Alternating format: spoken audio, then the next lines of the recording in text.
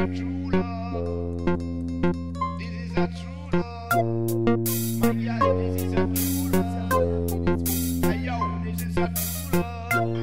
Leute, anderes Thema noch heute ist einfach Fressattacken, diese Gelüste und sich da so ein schlechtes Gewissen zu machen.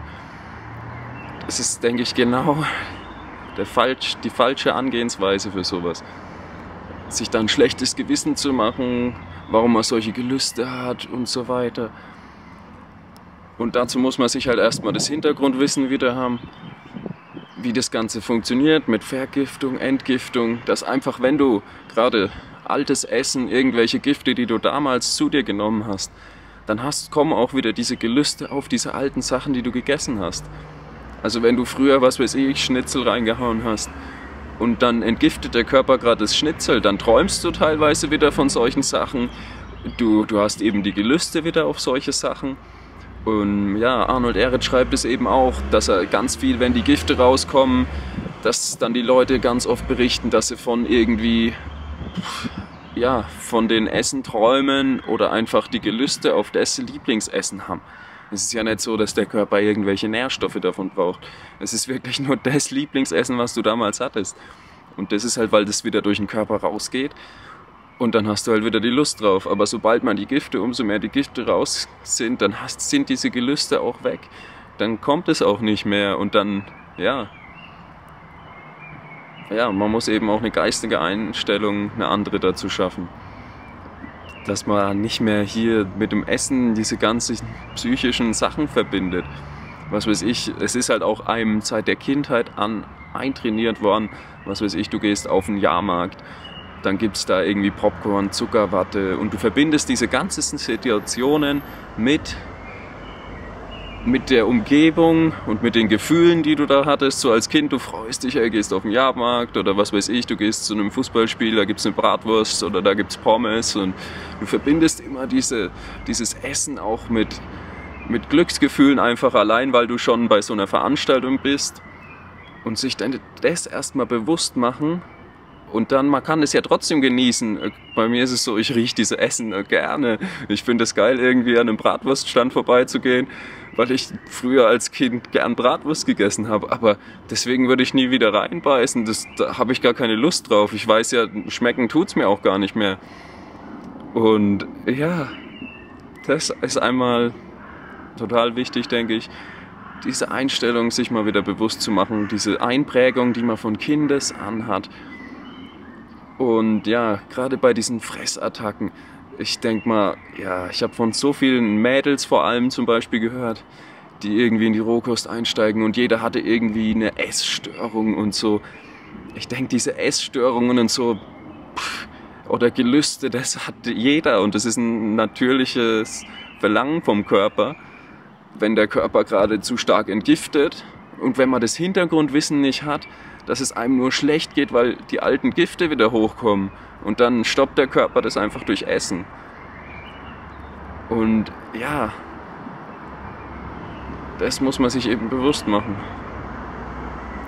Ja, kann man wieder nur Arnold Ehret wieder mal erwähnen. ähm, ja, Vergiftung, Entgiftung, sich das bewusst machen, wie das Ganze funktioniert einfach. Was ich, auf was ich hinaus will, ist einfach, dass man, wenn man mal solche Gelüste hat und solche Fressattacken, dass man sich da einfach überhaupt kein schlechtes Gewissen machen sollte, sondern das Essen immer genießen soll, wenn man es isst und sich das dann auch mal eine Menge reinhauen. Das ist völlig wurscht. Du musst mir mal bedenken, was für eine Belastung das ja mit deinem Körper ist wie viel Gifte da jetzt auf einmal reinkommen, wenn du auf Rohkost umstellst oder einfach in eine gesündere Richtung, je nachdem auf welcher Stufe du halt vorher warst. Ja, dann sollte man eben einfach essen, so viel man mag. Der Körper weiß schon, dass er dann die Gifte, damit kann er sie einmal raustransportieren. Weil wenn die ganzen Gifte im Darm sind, dann müssen die auch irgendwie nach draußen. Entweder du machst Darmreinigung oder du isst halt viel. Arnold Ehret hat zum Beispiel auch immer gesagt, du sollst nach dem Fasten, wenn du ein Fastenbrechen machst, sollst du immer viel essen, genug essen, damit es einmal durchkommt und die ganzen Gifte, der ganze Schleim, der ganze Dreck, der sich im Darm angesammelt hat, dass der mit rausgenommen wird. Und ja, diese Gelüste können halt einmal von diesen alten Giften kommen, dass du halt dann genau auch Lust hast wieder auf dein Lieblingsessen. Ja. Und so als Lösung ist da einfach ganz gut, wenn man dann diese Gelüste hat, dass man sie halt durch was Gesünderes ersetzt langsam. Und dann kommen die Gelüste eh. Dann kommen eben wieder neue Gelüste einfach mit gesünderen Sachen und es wird dann einfach immer weniger.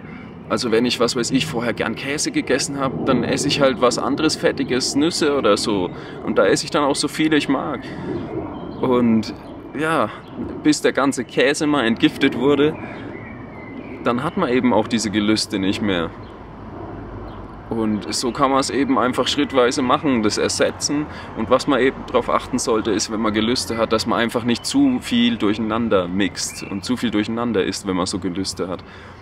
Weil wenn du einfach zu viel durcheinander mixt, dann trägst du deinen Körper immer wieder aus. Oder wenn du springst, dann, dann verändert sich einfach das normale Sättigungsgefühl. Was weiß ich, wenn ich erst einen Haufen Kartoffeln esse, dann bin ich eigentlich schon satt und so, merke irgendwie so, bin noch nicht so befriedigt und dann wechsle ich zu irgendeinem anderen Essen. Dann ist der Körper wieder anders stimuliert und kommt einfach durcheinander.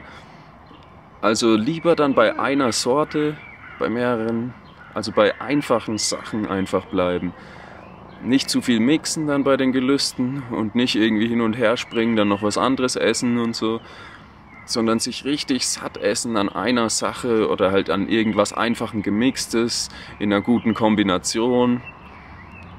Dann ist es völlig in Ordnung und sich da einfach nicht so einen Stress machen, das ist das Wichtigste. Puh, ja, auch diese das, was man sich eingeredet bekommen hat von der Gesellschaft, so, oh, du musst das essen und jenes ja, das muss man alles erstmal loswerden, dieses Ding. Und es ist ein langsamer Prozess, dass du das verarbeiten kannst, dass du nicht mehr ja, so dranhängst an diesen Meinungen, was andere denken.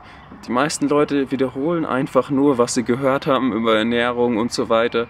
Und die Schulmedizin hat halt nun mal keine Ahnung von Ernährung. In einem schulmedizinischen Studium lernst du vielleicht mal drei, vier Stunden was über Ernährung. Ärzte haben die höchste Todesrate die sterben früher als normaler Mensch. Und was soll ich von jemandem lernen, der nicht mal gesünder ist als die Durchschnittsbevölkerung? Das ist wichtig, ja, das ist eigentlich immer noch viel schwieriger, diesen ganzen alten Mist zu vergessen, was man gelernt hat, als die neuen Theorien sich zu verinnerlichen und zu verstehen. Weil eigentlich ist es wirklich so leicht. Vergiftung, Entgiftung, das ist alles so, was man wissen muss. Arnold Ehret lesen, ja, ja, also einfach kein schlechtes Gewissen haben und esst so viel ihr mögt, aber von was Besserem, als ihr damals ein Gelüst drauf habt und dann passt es schon. Macht's gut, Leute.